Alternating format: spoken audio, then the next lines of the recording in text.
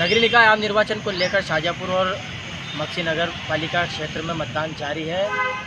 मतदान केंद्रों पर सुरक्षा व्यवस्था का जायजा लेने के लिए लगातार कलेक्टर दिनेश जैन, पुलिस अधीक्षक जगदीश डावर द्वारा निरीक्षण किया जा रहा है। फ़िलहाल सभी मतदान केंद्रों पर शांतिपूर्वक ढंग से मतदान हो रहा है। लोग आ रहे हैं?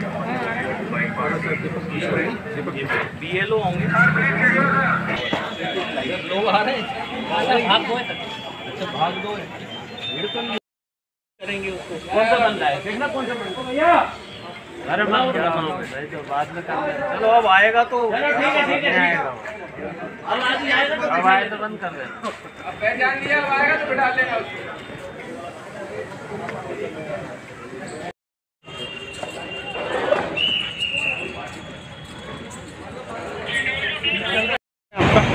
मेरा नाम दीपिका जाट है।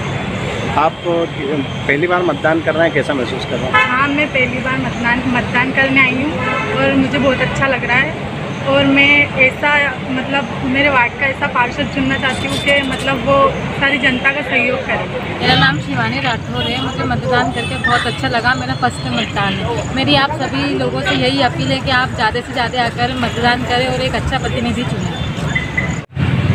देखिए आज सुबह से ही मतदान सात बजे प्रारंभ हो गया था और साढ़े छः बजे से हमारे जो सभी पोलिंग ऑफिसर्स हैं, उन्होंने मॉक पोल वगैरह संपादित किया।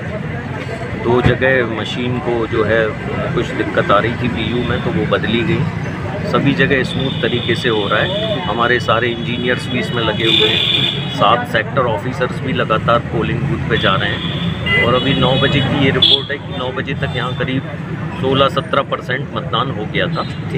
और मक्सी में करीब 27 परसेंट हुआ था। तो एकदम स्मूथ चल रहा है, कहीं अभी कोई दिक्कत नहीं है। पूरी पुलिस की फोर्सेस पुलिस की मोबाइल्स और 10 जो हैं बाइक से भी पेट्रोलिंग की जा रही है। और हम और एसपी साहब भी लगातार शहर में ही हैं। हमारे सारे अधिकारी शहर में रहेंगे और लगातार हम लोग नज़र रखेंगे ताकि स्मूथ शांतिपूर्ण और निष्पक्ष तरीके से मतदान की प्रक्रिया हो।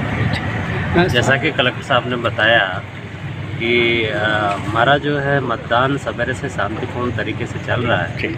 पर्याप्त पुलिस की व्यवस्था की गई है। अ, पुलिस की मोबाइल सेक्टर मोबाइल लगी हुई है एक्स्ट्रा थाना प्रभारी मोबाइल लगी हुई है सारे राजपत्रित अधिकारी लगे हुए हैं। और हम सब लोग इस प्रक्रिया को देख रहे हैं। और चुनाव पूर्ण रूप से शांति पूर्ण रूप से चल रहा है। Thank you